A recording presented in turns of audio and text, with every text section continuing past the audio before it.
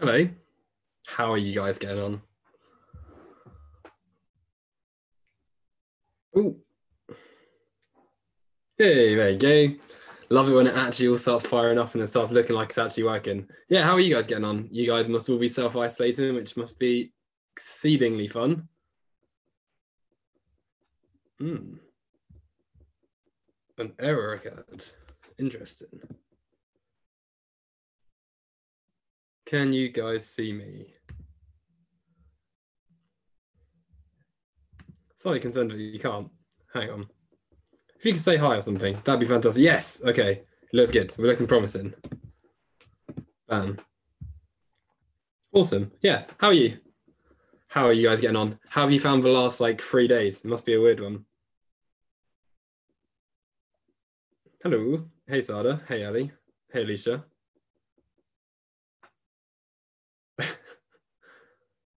Can you get your money back from Crash Course if you're in year 13? Yeah, I don't know, maybe. Hi. Um, is this thing going to be daily? Good question. Yes. Uh, I should probably answer some questions, shouldn't I? So, yesterday, I don't know if any of you guys were watching the chemistry session that we did, but I got very briefly taken like off of YouTube for a bit because I don't think YouTube are liking anyone using the C bomb, and I don't mean the actual C bomb. I mean the you know what, which is why we're all here. Um, and apparently, any kind of misinformation or any potential misinformation, they're just taking things down. So, throughout this, which is going to be weird, I'm not going to use that term. You know what I mean? Um, so, if I ever say something about like self isolation or something like quarantine, that's fine, I think. But I just can't say the you know what, right? Which is very, very bizarre. But um, yeah, so these sessions, then, this home study club, essentially the idea is that every day, um, we're going to be doing something, SnapRevise are going to be doing something just to sort of tell you a little bit about us, just to hopefully tie you lot over. So every day, um, it's either going to be chemistry or biology. I'm not too sure with physics and chemist, uh, sorry, physics and maths. I'm sure we're going to do something with them at some point. But I'm basically going to start uh, start of year 12 and just make my way through uh, some exam questions on pretty much every topic. So hopefully, by the time that everyone's back in school again, um, we're going to be in a situation where everyone knows everything that they need to know, or at least we haven't done nothing over the course of the time. We feel like we can actually get something done.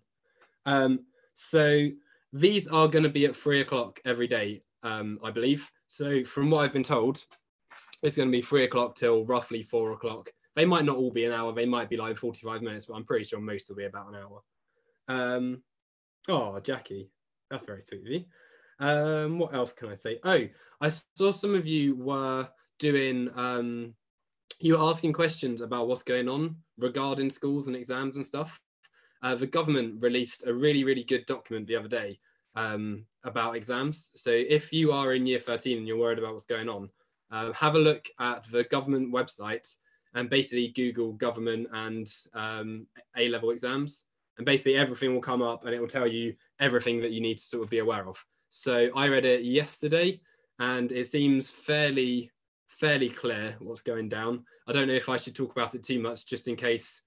I don't know.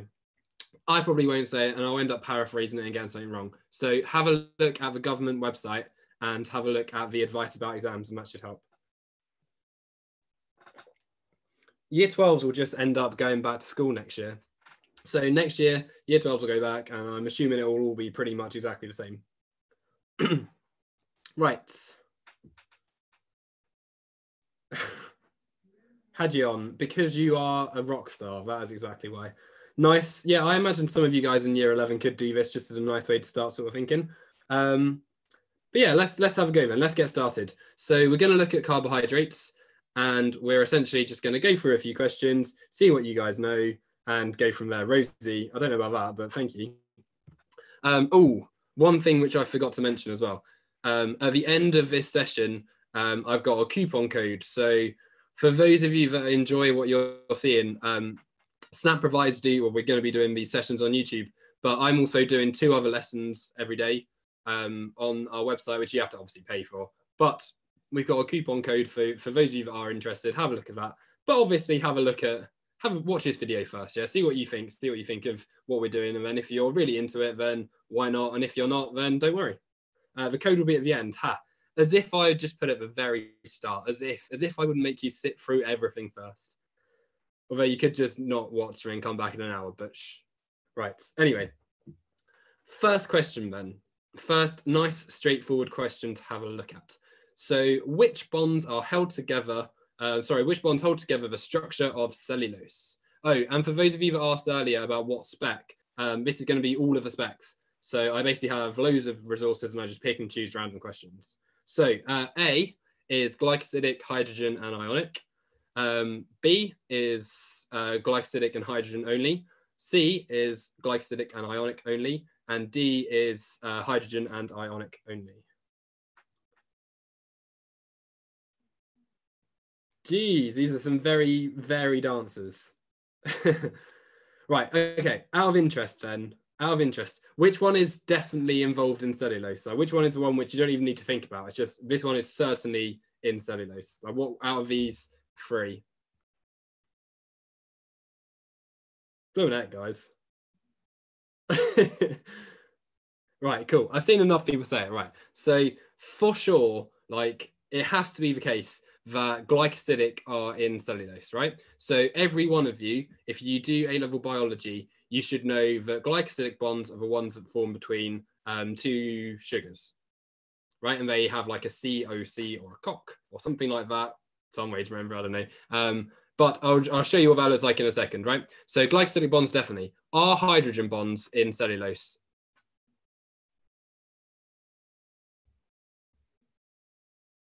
I did say COC. I did. I did. I did. Hold me accountable. Yeah, hydrogen bonds are there too, right? So with hydrogen bonds, um, you guys should know that cellulose is made up of very, very long um, chains and these sort of microfibrils, they get hydrogen bonded together, meaning that you end up with this very, very uh, strong, like a sort of really high tensile strength molecule, which can be involved in cell walls.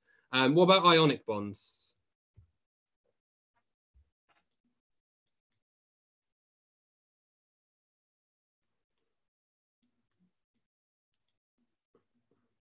Yeah, most of you are saying no. Yeah. Um, so ionic bonds are the ones oh, you probably remember from chemistry from last year. They're the ones where there is a difference in charge, um, and there's therefore an electrostatic attraction between those two molecules. So if there is a positive and a negative charge, those two things try to come together essentially they attract. So it's glycosidic and hydrogen, meaning that the answer has to be B. How many of you said just B at the start? Chemistry check. Yeah, that's a good show. I need a little section name. Chemistry check. Yeah, just for boy.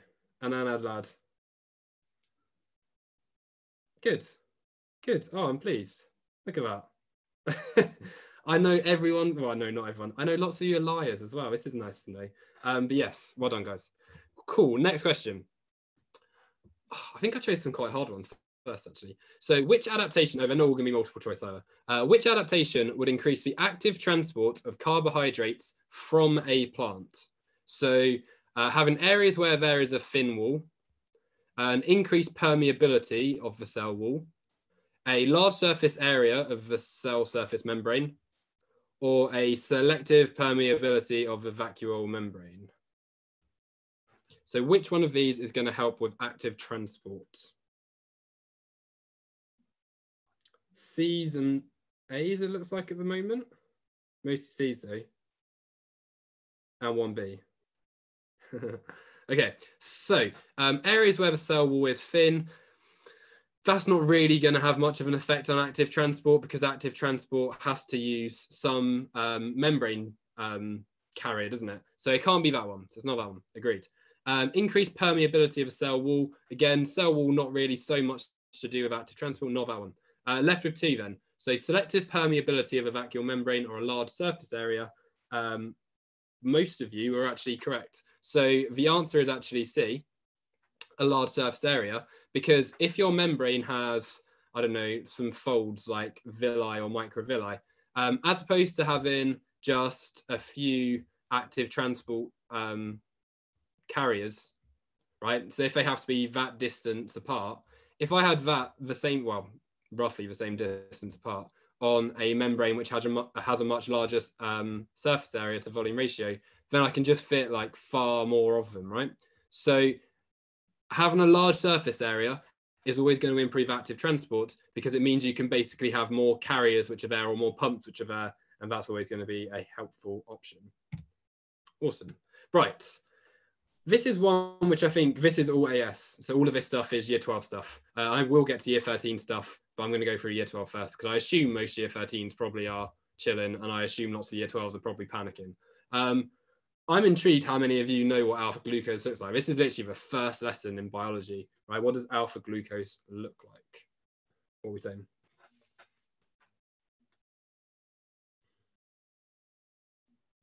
If you're in year 13, not all of year 13 are chilling. I do understand that lots of you are probably still revising really, really hard to make sure that you are um, in the best place in case you get uh, asked or in case you choose to do an exam, I guess. They all look the same. They definitely don't all look the same. That one definitely doesn't look the same. It's got a massive oxygen at the top. Right, B's, D's. Does AQA need to know this? Yes. Explosive gems. I apologize that you're stressed. okay, alpha glucose. Where do the hydroxyl groups? In fact, let's let's slow down a bit. Right, this thing over here is called a hydroxyl group. If you've got an OH, that's called a hydroxyl group. Where do the hydroxyl groups have to be for something to be alpha glucose. So in alpha glucose, where do the hydroxyl groups um, orientate themselves? Or how, what do they look like?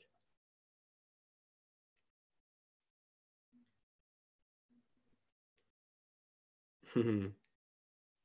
so they attach to carbon one and four, yeah. So carbon one is that one, two, three, four, five, and six. But that doesn't tell us what direction they are. So with alpha glucose, with alpha glucose, both hydroxyl groups are on the bottom. Okay, and the only one where they're both on the bottom is D. So it's got to be D, right? So alpha glucose, both of the hydroxyl groups are on the bottom. Beta glucose, they are inverted. So one of them, I like that, alpha ankles. Uh, one of them has uh, sort of like that, I guess, or one of them looks like that. So that's beta glucose, and this one is alpha. Okay, so if you want a way to remember this, one of the many ways that teachers seem to have of just remembering things. So alpha glucose, remember that they are both uh, in the same position. And also remember that they are the ones that make up starch, right? And then beta is just the other one. Ants on the ground, bees in the air, beta equals opposite. Lovely. Yeah, that's essentially it. Um, when we were talking about glycosidic bonds earlier, I said there's like a COC thing to look out for, right? Um, I don't know if my face is getting in your way, but my face is getting in my way when I'm trying to draw stuff. So I would expect every single person who does A level biology, especially in a position where you guys, I guess, have got through most of the year, I'd expect every single person. it's ironic if I've just done it wrong. I'd expect every single person to be able to draw um, glucose properly, right? And in terms of being able to draw um, a disaccharide, I'd also expect all of my students to be able to do that too. So if I had something like starch, or I guess before I get to starch, it would be maltose. Um, just so I can show you what it looks like to show you this COC bond. And I know lots of you are probably thinking that this is really easy. And I'm sure, in fact, I'm sure there's probably an even mix of people who are like, this is ridiculous. And people who are like, oh my God, how do you remember that? Um, but this is definitely something that I'd advise every single person to know off by heart and draw it out until you can. Um, in terms of this glycosidic bond, you literally take water out because it's a condensation reaction. So H2O, apart from that is like an A, but it is an H. If you take those out and remove it, then you're left with CO, and then that will bind to this C. So if I just put it in the middle, you end up with this sort of pattern. So this is why I called it a Koch bond, because you literally have COC in your glycosidic bond. Okay. Um, am I a teacher? I used to be a teacher. So last year I taught in a secondary school, and then I decided that that was too hard. So I chose to work for SnapRevise. that is a side joke, but genuinely teaching is normally quite hard.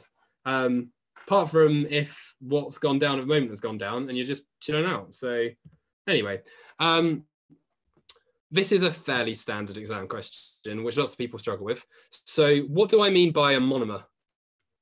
So if you were asked to describe a monomer, what would you say? I'm glad you're enjoying Koch bond.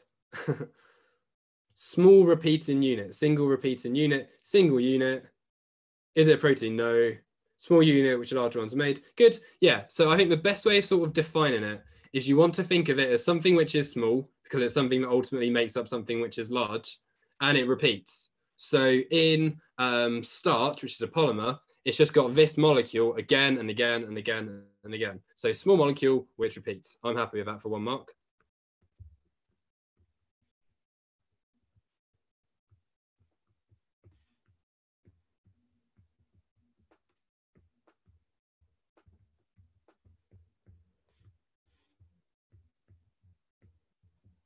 Lovely. Nice. I think that'll, that'll do. Can anyone think of anything more that you could possibly say? Uh, yeah, you could say a subunit if you don't want to say if you don't want to say molecule. Um, subunit is fine. Anything else? Monosaccharide polymer is made from them. I'm gonna. I think with biology, I think I'm gonna be doing Monday, Wednesday, and Friday. So every other day. I'm pretty sure. Um, chemistry is Tuesday and Thursday. That makes sense. Cool. right, let's have a look at this next one. So, uh, as most of you guys will be aware, you essentially get to a stage in biology, don't you, where you learn everything and you go through the textbook and you're like, oh, yeah, this is easy. This is so straightforward. Ha, huh, laughing. And then you see something like this, and it's like, oh, well, apparently now my life is a pain again, and they're actually applying it. So, this is a fairly good example of a normal A level question, um, just where they expect the knowledge and they then expect you to uh, apply it. So there is a good chance that this is an AQA question. Yes, I do still on. I have a whole resource pile of like OCR questions, Edexcel questions, international Edexcel questions, CIE questions, AQA questions. This is just one of the AQA ones. Yeah. Uh, right. Anyway, so lactulose is a disaccharide. So let's we know should know what that means anyway. Um, formed from one molecule of galactose and one molecule of fructose other than being um, disaccharides, give one similarity and one difference between the structures of lactulose and lactose. So this expects you to know what lactose is made up of. Okay, can they tell you what uh, lactulose is, but they expect lactose too. So what can we say? Uh, no, this is, no one needs to know what this molecule is because they tell you, right? They've told you what it is, so you don't need to know anything. Okay. So lots of you are saying the right thing. So good. Um, clearly, you guys know that lactose is made of glucose plus galactose. And you have seen that lactulose is made up of galactose and fructose. So one similarity, which is the only real similarity apart from uh, the assumption that they're all made of carbon, hydrogen, and oxygen, is that both are made of galactose.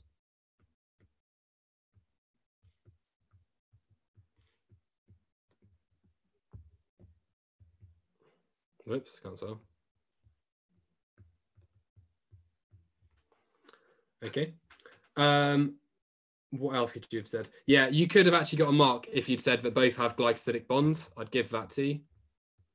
So those of you who've said that, I'm happy with that. Um, and then that's about it, actually. So yeah, they don't allow you to have C, H, and O, which seems a bit weird, actually, because this one's clearly made of CH as well. But I don't know. These are easier differences anyway. So what is the difference then?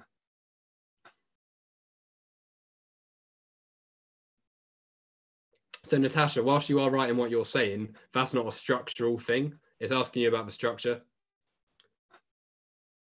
Can you say they both have glucose? No, you can't say they both have glucose because this one's got fructose and galactose and the other one doesn't. Good.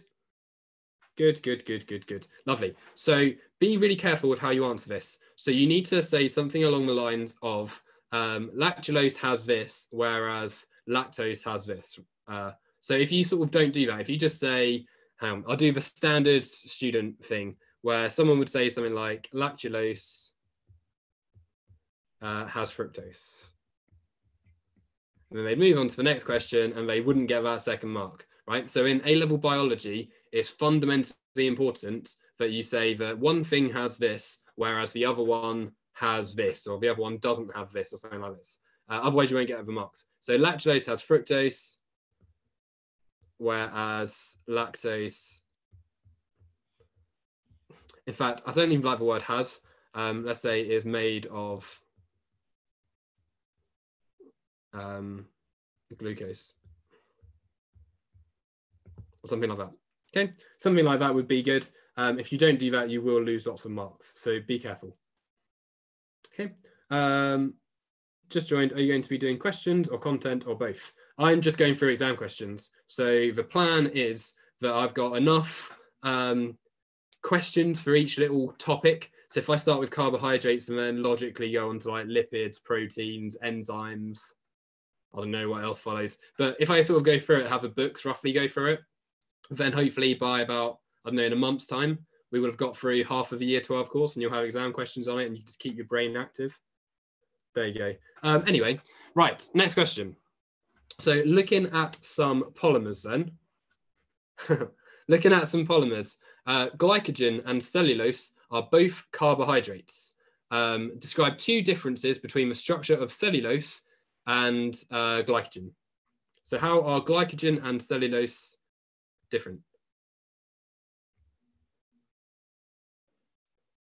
I'm not, I don't, I, I think Snap Provider on TikTok. I personally am not.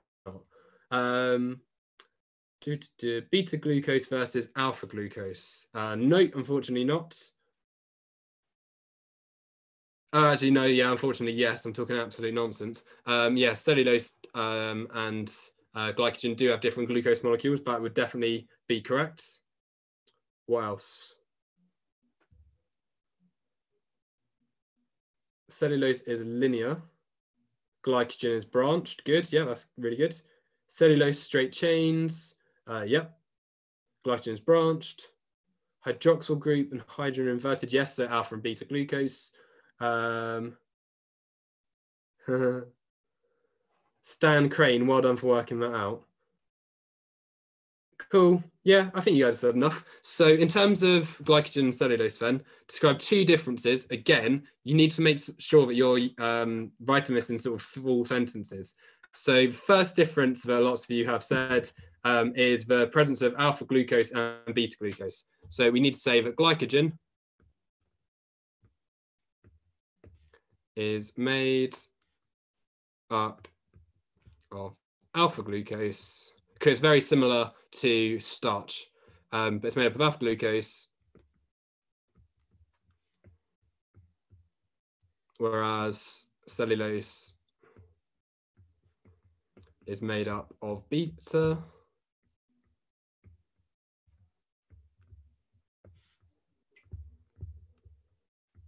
apologize for my handwriting, by For those of you who aren't used to my handwriting, I can only apologize. Um, the other thing most you said um, was glycogen is highly branched.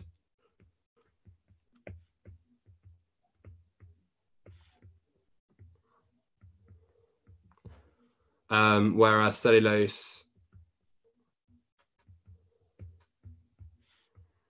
has long, straight fibers. Do you guys know if glycogen is um, more branched than starch? Does anyone know that? Is cellulose polar? No. How long is this live? An hour-ish, maybe 45 minutes-ish? Amylopectin and glycogen. Um, so amylopectin and glycogen are actually very, very similar. So uh, yeah, glycogen is more branched than starches. So glycogen is like the most branched carbohydrate um, that you'll ever come across in A-level biology. Um, but yeah, it's very, very similar to amylopectin. Um, just so you know as well, you could have got some other marks here for saying that glycogen has one four and one six glycosidic bonds. For those of you that know what I mean when I say that, whereas uh, cellulose only has one four. That's weird. So what is amylopectin? Um, essentially what it is, right, is we need a way to store sugar um, in our bodies because otherwise it would just stay in your bloodstream and that's really, really bad. It really affects water potential of things. It can cause dehydration if you have too much glucose in your blood. So glucose gets stuck together um, as this molecule, this really long polymer, kind of like this. Um, and in animals, the one that we have is called glycogen. So it has this really long sort of branching structure, which sort of goes a bit crazy. Um, and the point of that is it's got a really big surface area. So the enzymes that you have, they have to act at the end of um, the chain. So if you have more ends of your chain because it's branched, then you have more positions for your amylase to actually act on to undergo uh, hydrolysis reactions. So glycogen is very, very branched to increase its surface area. Okay, cool. So starch is a carbohydrate often stored in plant cells. Describe and explain. So make sure that with explain, you're saying why. Two features of starch that make it a good storage molecule. Amylopectin is only in plants, yes. Yes, you need to know about amylopectin.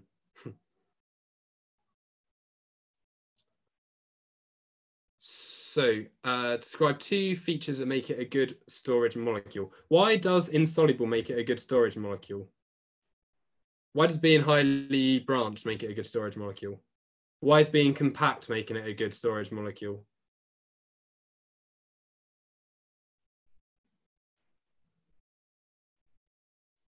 Insoluble, so it doesn't affect water potential. Yes, good. Good. So it's not it's polar. It's not polar, so it doesn't affect water potential. Yes. Um, doesn't go across cell membrane, so it's um, too big. Good. Compact, so more storage. Yeah. Good. Yeah. Enough of you saying the right things here. Um, so you want to say something like, I think the most important thing is it's insoluble. Okay, if it's insoluble, it means it has absolutely no effect on the water potential. So imagine that you were a plant cell and you uh, had all this sugary stuff stored in your vacuole. Um, if it was soluble, then loads of water would start to move into your vacuole and it would just cause things to happen that you don't necessarily want. Um, so insoluble, uh, and then we could say there is no effect on water potential.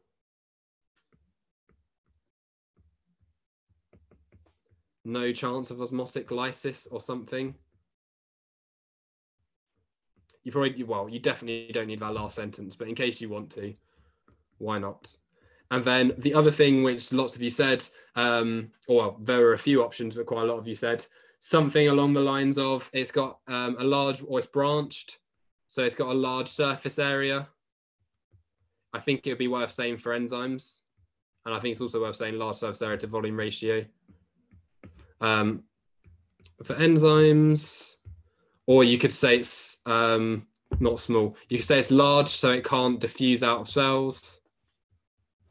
That'd be really bad.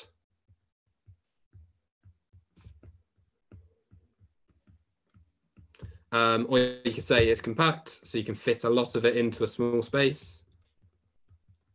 Any of those things, absolutely fine.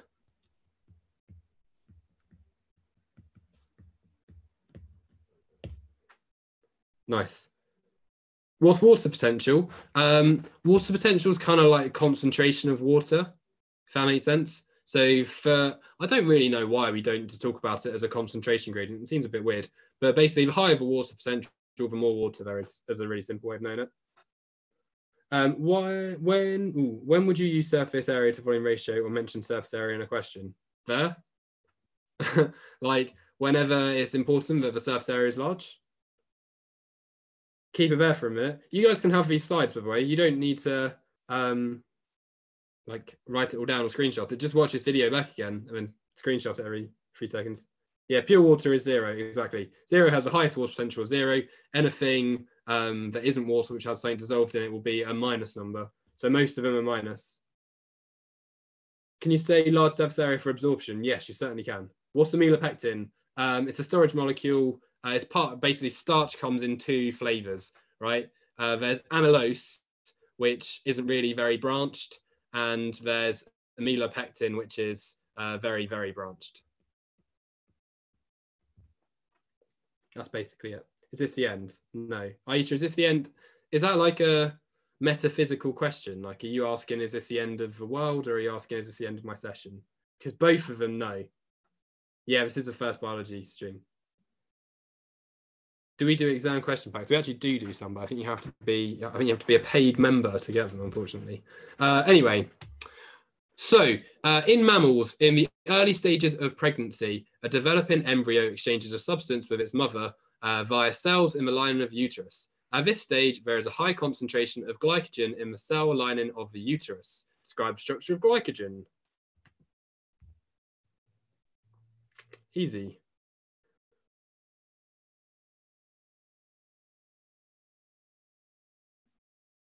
Don't worry about the question mark. This is your worst topic. Oh, that's all right. So you're mostly saying the right things here. So uh, tell me the type of glucose it's made from, and then tell me the structure, essentially, and that's it.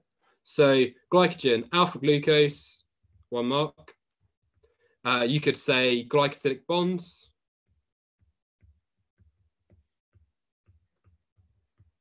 If it's glycogen, you're going to have one four, and you're going to have one sixth um, glycosidic bonds. And then you can say that it's highly branched, right? You only need two of them.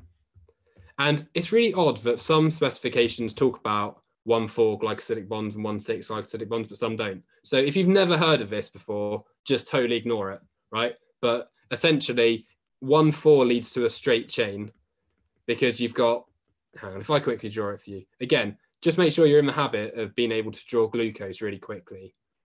Whoops.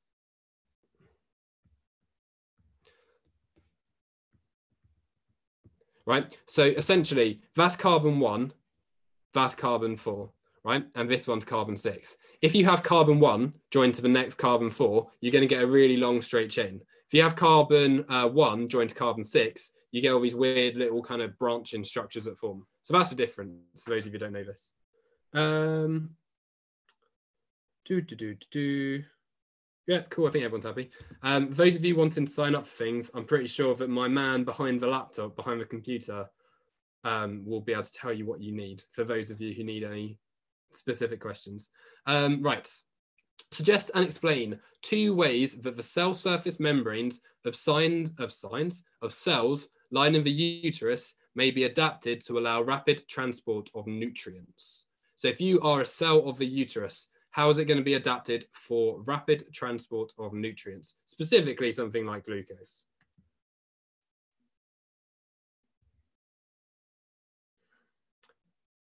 Suggest and explain. Be careful, right? If you're asked to explain, you can't just say large surface area. You need to tell me why that is good, or you need to tell me how it has a large surface area.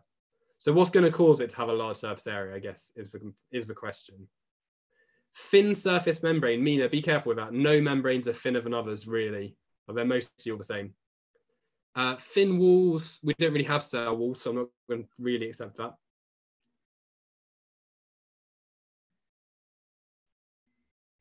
Good.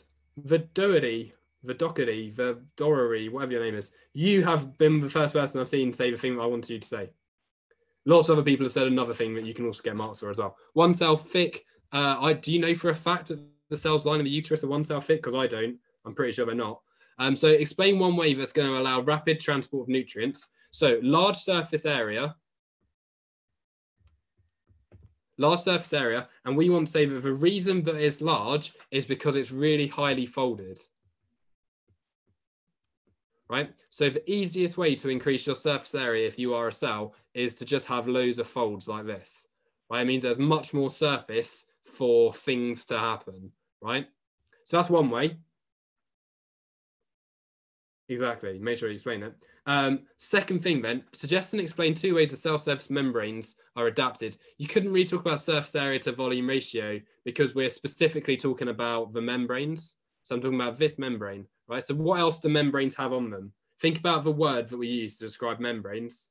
What do they have in them? Would referencing villi be wrong? Probably not, but I would say it's highly folded. You could say um, by having villi.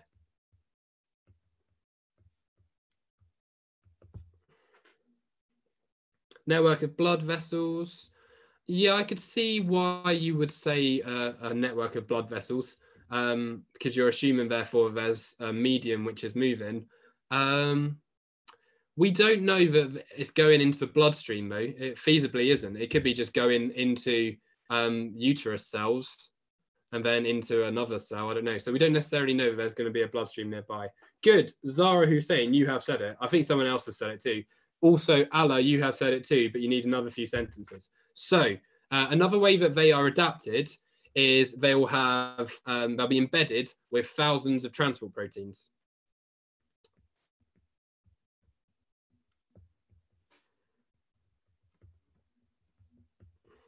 I don't want to say thousands. Uh, presence of um, I don't know, loads, lots, numerous, high concentration. I don't know. Presence of loads of transport proteins.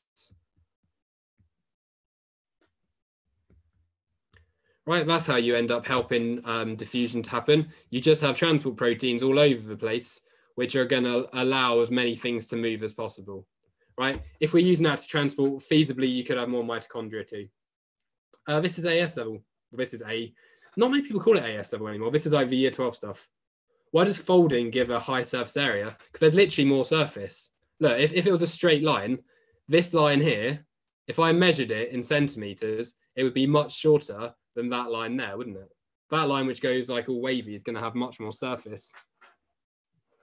Where are transport proteins? They will just be covering the entire membrane. So all membranes going to have a load of proteins stuck in them.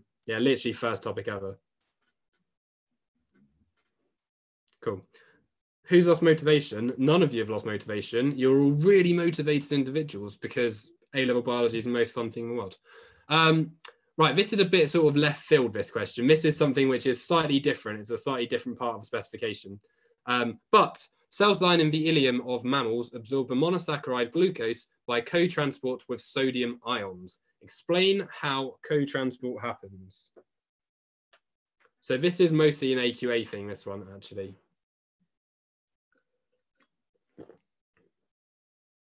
Okay, so there is a sodium potassium pump. What does a sodium potassium pump do? And also be careful, make sure you draw the little pluses when you talk about the sodium potassium pump, because it tells you their ions. What does this thing do? Actively out of the ileum into the cell. No, not out of the ileum. Close.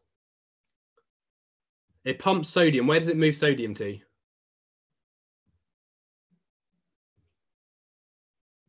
I don't think I've seen anyone say the right answer yet. Oh, out of epithelial cells into where, Mariam? You are right. You are closest, I believe. Not into the cell. From ileum to the blood. Hannah, you are spot on. So essentially what happens, right, is I've got my villi up here. I have um, some epithelial cells. So I guess here are some cells here. Fine, no, let's let's leave it like that actually. So my villi are going to be my epithelial cells. Um, I've got a bloodstream coming along here. That kind of looks 3D. And this is the lumen of my ileum. So this is the lumen where all your food is. So imagine this is like, if that's the lumen, so the hole that your food will go through, then this thing here is just the wall. So this wall is kind of looking like that, if that makes sense. Right. So essentially sodium is pumped from um, the epithelial cells into the bloodstream. So sodium ions are pumped into the bloodstream. So sodium, uh, let's say that we've got a capillary or something around the outside. The first step is sodium is being pumped that way. What does that do? So sodium can diffuse down its concentration gradient into the ileum, not into the ileum because it's already in the ileum. Sodium must go into the ileum if it is to be co-transported. Sodium is already in the ileum. Creates concentration gradient. Excellent. I'll give that. So by pumping sodium ions out of my epithelial cells and into my capillary, I now have a greater concentration of sodium in my uh, ileum than I do in my epithelial cell. So sodium, potassium pumps, um, they move Na, or they actively transport sodium um, into the capillary. This establishes, I'm being lazy here, conc grad um, for sodium ions. So there is a higher concentration of sodium in the lumen. So there's a really high concentration of sodium in the middle now. So sodium said that weirdly. So sodium is going to move through something called a co-transport protein in the membrane, and it just so happens to take glucose along for the ride too. So glucose comes with it, right? So a concentration gradient for sodium, um, sodium ions move through co-transport proteins taking glucose with them. And then finally, glucose will just build up its concentration uh, in here and it will get to the point where it gets so high, but it just diffuses through. It will need a special uh, facilitated diffusion carrier to do that, um, which I think is called GLUT2 or GLUT4. But that's what it'll do. Glucose builds up.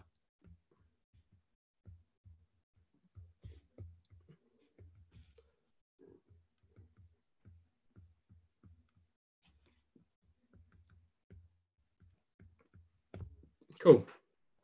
This is AQA, this bit. So most people don't really cover this, um, apart from you kind of do in, I think OCR mentions this in the section about the kidneys, because you have this happening in the proximal convoluted tubule as well. So uh, this co-transport thing, which I have mentioned here, let's change the color to make it really obvious. In fact, I worked out recently, I have a highlighter on here. Ooh. There you go, there's the good stuff. Um, essentially, co-transport is a means of moving things against their concentration gradient um, by moving one other thing first. Okay. Um, year two stuff is the kidneys, yeah. Yeah, so some, some specs mention it in year 13, which is a bit weird because they don't in year 12, but AQA definitely mentioned that throughout. Uh, okay.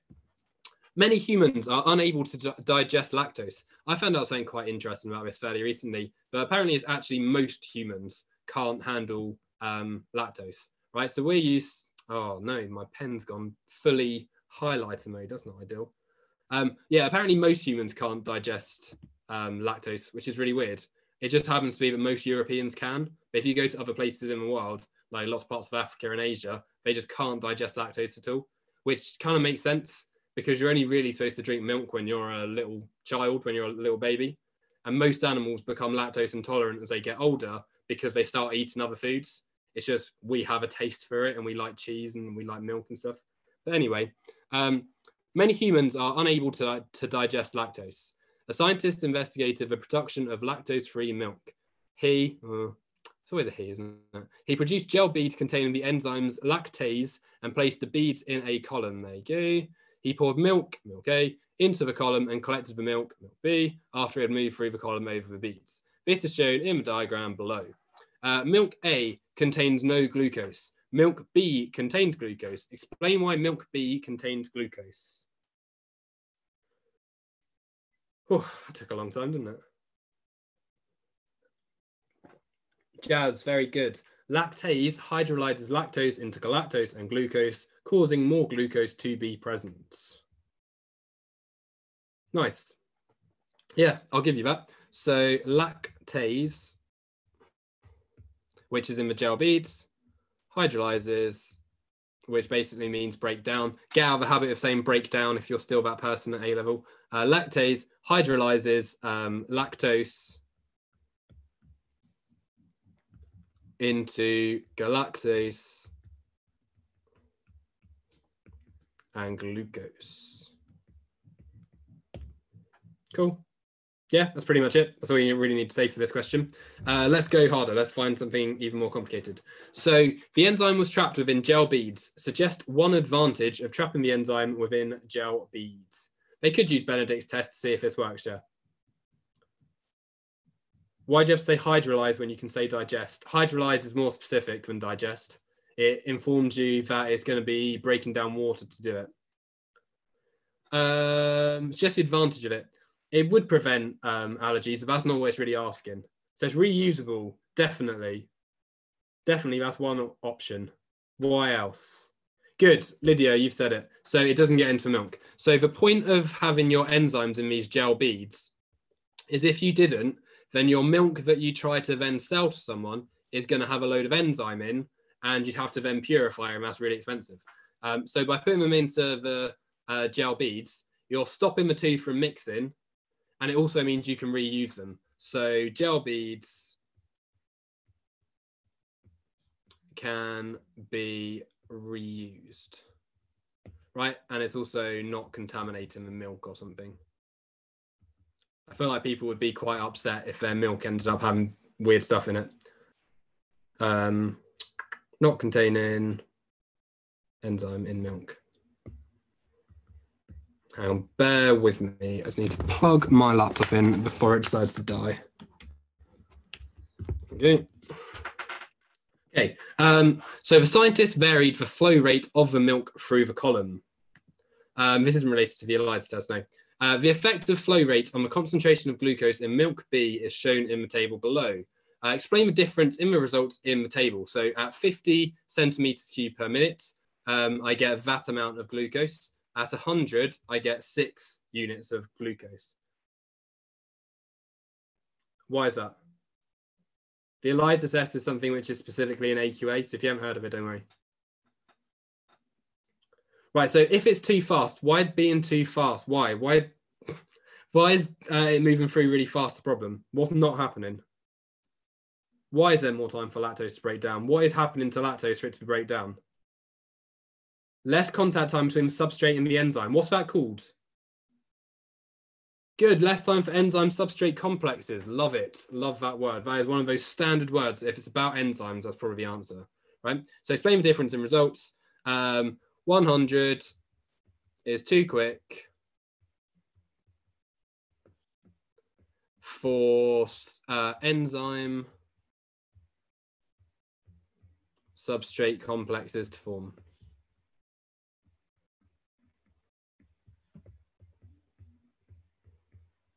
Lovely. Ew, a maths question. This is like the easiest maths question ever, honest, honestly, it's great. Um, the gel beads were all a similar size. Use the formula below to calculate the volume of one of the beads with a 3.0 millimeter diameter. Literally just do what it tells you to do.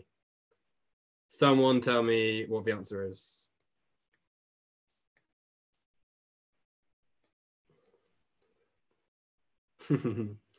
Honestly, this maths is all right. You've only got one variable that you need to put in, don't you? So your equation is not 1 over 3. 4 over 3 times pi times a radius. The only way you could get this question wrong is if you didn't know what, what diameter and radius mean. So times 1.5 cubed. When you do that, you should get 14.14.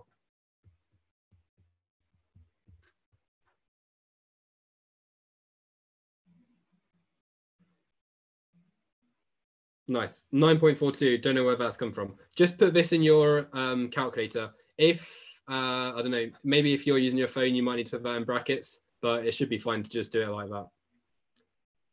Yeah, yeah, I've just rounded it. Uh, where is the official mark scheme? Where is the official mark scheme? Right in front of me. Right there. I can see it right there. Do you need to do it to three significant figures? It doesn't tell me to do it to three significant figures, no. Um, you tend to just, you actually tend to stick with what they've given you. So if they've given me um, 3.0, it looks like they're doing it to two significant figures. So if I wanted to, I could do uh, 14.1, and that's probably the ideal answer here. I was pointing at you, yeah. There you go. Uh, okay, I think I've got like a couple more questions, maybe two more questions, I believe. Yeah, go on. We'll do a couple more. So the solubility of a substance affects how they are transported. The diagram shows a structure of a molecule of glucose. Can anyone tell me why glucose is um, soluble?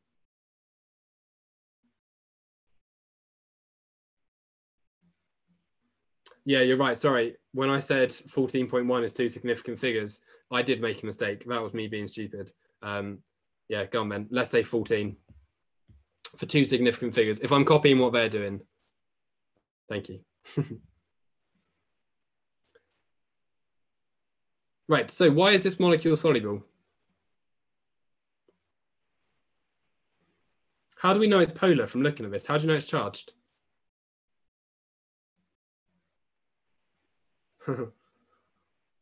How do we know it's charged?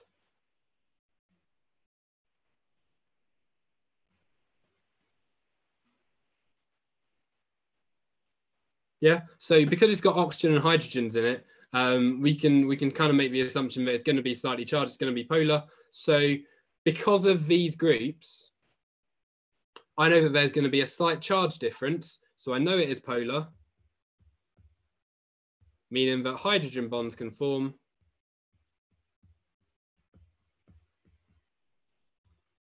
They're going to form with water, making it soluble. Nice.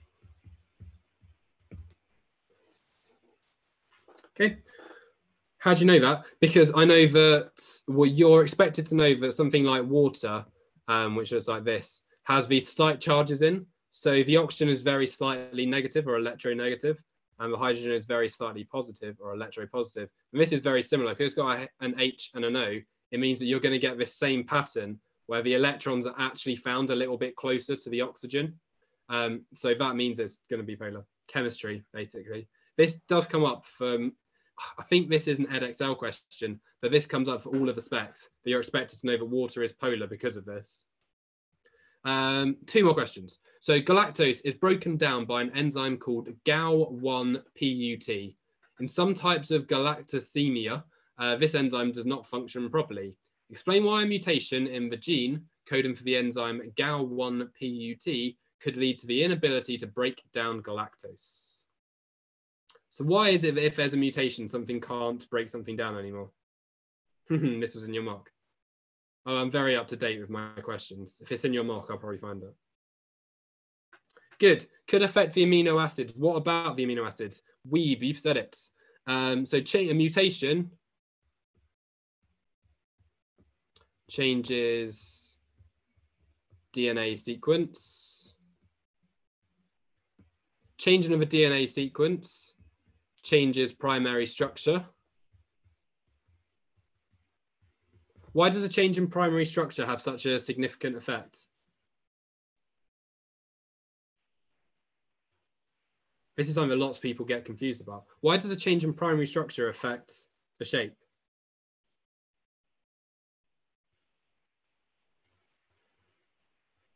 Good. Um, this changes the position of various bonds. So different R groups.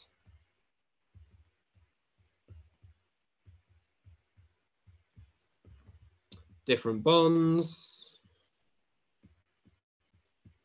And this ultimately means we have a different 3D structure.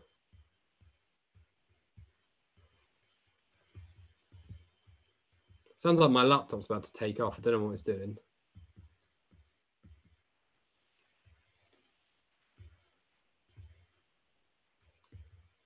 that can't fit. Okay, cool. Something along those lines would be really, really good. Um, we could therefore say, because we always say it, um, there are no enzyme substrate complexes. Something like that, that'd be good.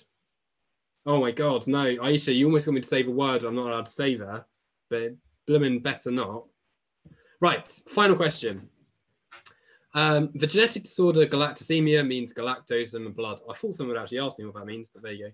Um, galactose is a monosaccharide uh, found in lactose. The structure of lactose is shown in the diagram below. In the space below, draw the products of the hydrolysis of lactose. You can't really draw this. What do I need to add uh, there?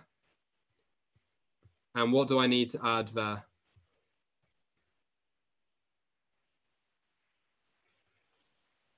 this one's for me. No. Mm, some of you have called me out as well.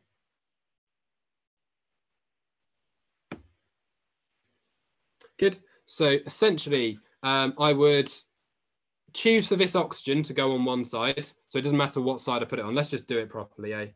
Uh, oh no, I can't bother to do it properly, eh? I'm feeling very lazy. So essentially what you need to do is let's say that this oxygen is going to go and join that side. It doesn't actually matter what side you join it. Um, I'm going to put an H next to it. So it's going to be OH. And then on this side, I'm going to put an OH over here.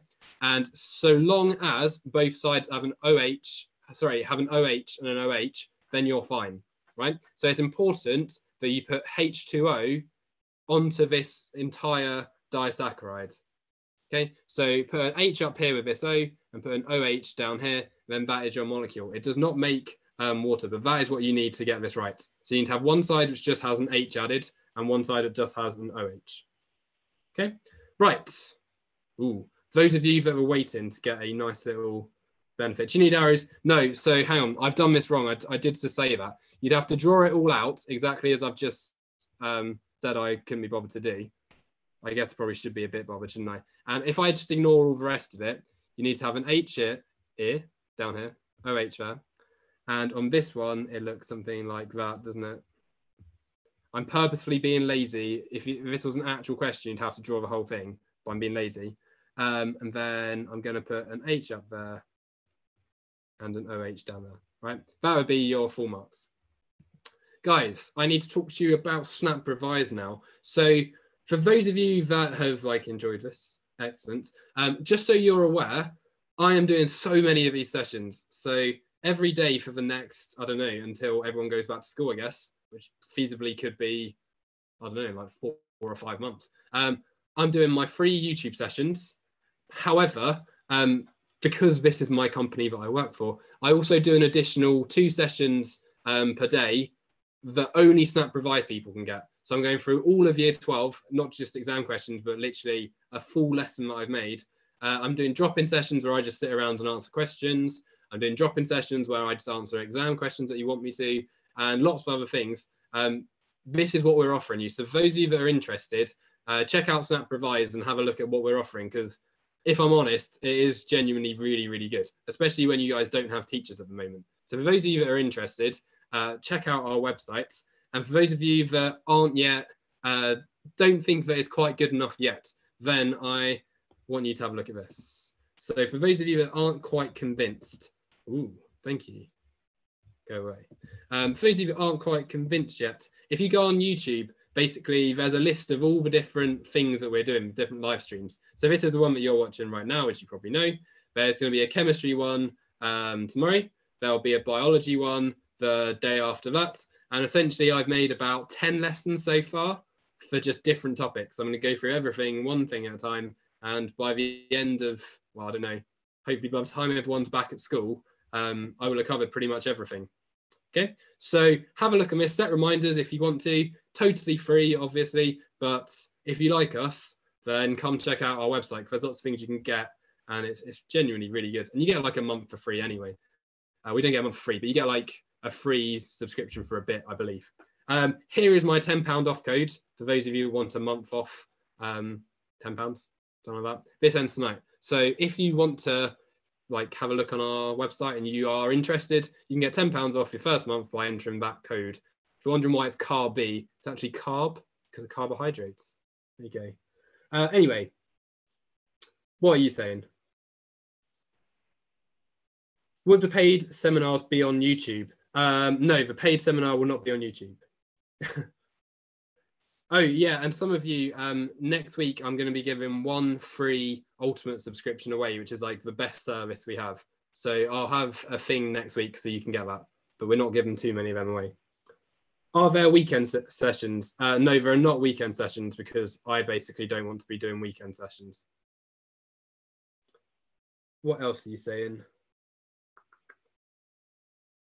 can you say a change in base sequence or do you have to say a change in DNA? Yeah, base sequence is fine. Um, primary structure is fine.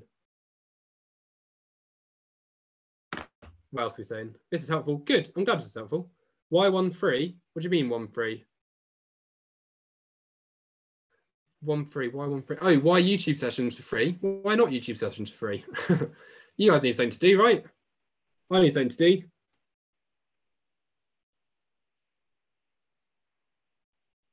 why not? Why have we not put it on? Um, why have we not put it on YouTube for free? I guess I don't know. We've got other things that are free. cool. Excellent. What do I do at SnapRevise? I make lessons. I teach lessons. I'm the head of biology at SnapRevise. Right. Anyway, I reckon that's going to be a good time to finish. So, guys, uh, have a really lovely afternoon and evening. I will see you again on possibly on Friday. I think we've got one on Friday. I assume so. If not, it'll be on Monday. But it's all on YouTube. Check out check out the stream. And let's let's let, let me just do it. I feel like I need to know what I'm doing anyway. On the third.